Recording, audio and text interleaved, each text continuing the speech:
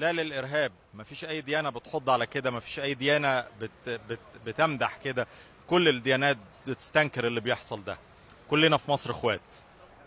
بنقول إن الحياة أقوى وإن مصر أبقى وإن إحنا عزيمتنا صلبة ومفيش حاجة هتخوفنا. آه، مصر تعرضت لأزمات وصعوبات كثيرة لكن دايما آه، آه، بشبابها الحلو والمنتعش بالحياة والراغب في الحياة والمرتبط ببلده مصر هتعيش وهتغلب كل إرهاب. آه طبعا نقول لا للإرهاب هو الإرهاب ما, ما يقدرش يوقفنا وما يقدرش يهزنا إحنا الإرهاب ما نحققلوش هدفه ابدا. أكيد نقدر نقول لا للإرهاب بالحاجات اللي إحنا بنعملها والتحديات اللي بن اللي بنحطها قدام الإرهاب. لا شك إن إحنا لا, لا للإرهاب دي لأن اولادنا نفسهم هم دعاة من أجل السلام من أجل مش بس تحيا مصر ككلمة ولكن هم بيعيشوها. فالإرهاب بالنسبة لهم ده شيء هم بيتحدوه. زي ما قلت لحضرتك التحدي عندنا ده شيء أساسي. فإحنا بنقول للإرهاب لأ وبنتحداك. فإحنا كلنا في, وطن واحد. الإرهاب لما بيجي بي ما بيفرقش بقى من مسلم أو مسيحي. ما هو المجموعة اللي يعني استشهدت كان فيها واحد مسيحي. فالارهاب ما بيقولش مثلا ده مسلم ده ما بيميزش بين ده وبين ده. إنما ال- ال- الإرهاب بيستهدف المصريين.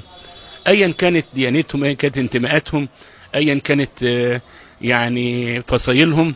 لكن الإرهاب بيستهدف مصر وأولاد مصر. فعشان كده أولاد مصر كلهم يتكاتفوا ما إحنا ما بنقولش إن إحنا إيه آه، إحنا صحيح يعني نحزن على الشهداء بتاعتنا وكنا إحنا بنحزن ليهم لكن بنفرح لهم برضو إنهم وصلوا للسماء. لكن في نفس الوقت ما نقولش مثلا إن إحنا نفضل بحزانة لأ إحنا ما نقولش حداد إحنا نقول التحدي. يجب أن نواجه هذا مش بحداد لكن نواجهه بتحدي. لأن مصر طول عمرها قوية. طبعا طبعا. نقول والله ربنا يعني يمنع عننا الإرهاب. والإرهابيين ونقول ربنا يحرس مصر.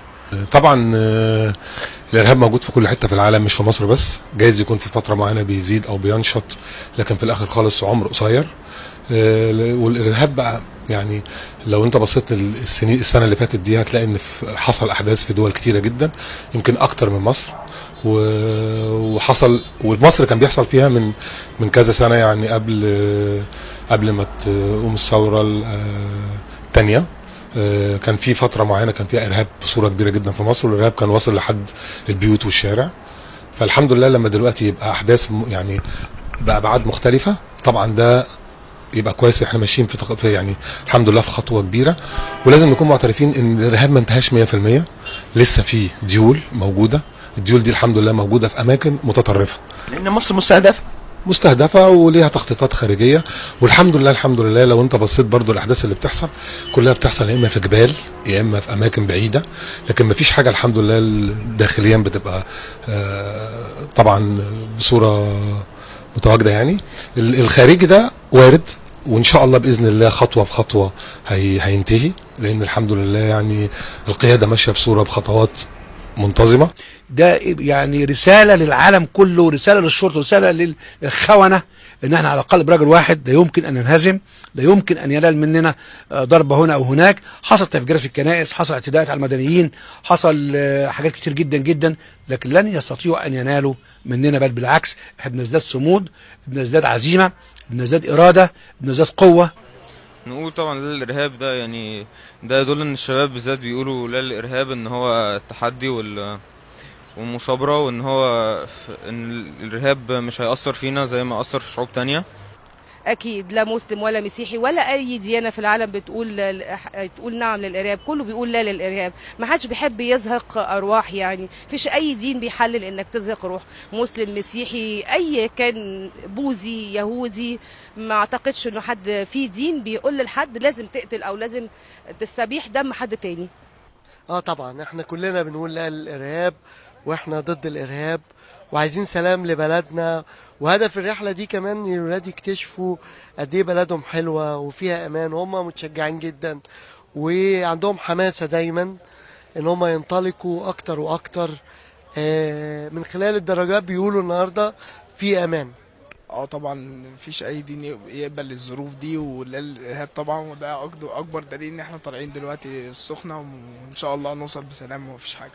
ومصر طول عمرها بلد الأمن والأمان. مصر طول عمرها بلد الأمن والأمان. بنقول لا للإرهاب أكيد وبنقول إنه بشبابنا هنقدر نبني مصر. ومصر طول عمرها بلد الأمن والأمان. أكيد مصر بلد الأمن والأمان. وزي ما بيقولوا ادخلوها سالمين وهيفضلوا جواها سالمين كمان.